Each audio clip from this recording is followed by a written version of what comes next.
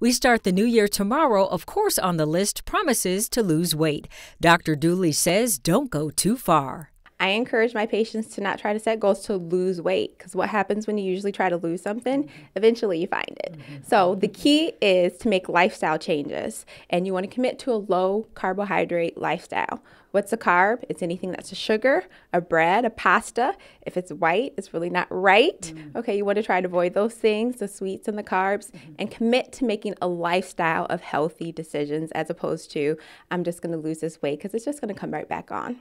But once you get that weight off, you don't want to be still be flabby. So then you might want to incorporate the weight so that you can tone. Because when you get that tone and definition, your the scale might go up, but you're going to look better. You're going to be fitter. You're going to burn more calories. So if you're focused on the pounds, you want to do the cardio 1st mm-hmm. Then when you meet your weight, you're going to pump up and do the weights and get more tone.